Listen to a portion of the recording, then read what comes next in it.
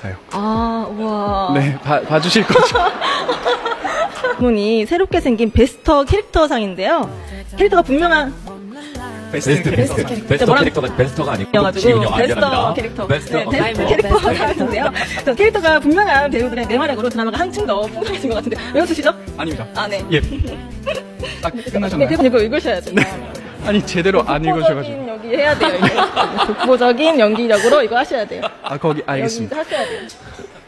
어, 캐릭터는 미주 씨가 제일 강한 것 같습니다. 아, 네, 네. 오늘 감사합니다. 케미가 MBC 연기 대상 베스트 캐릭터상.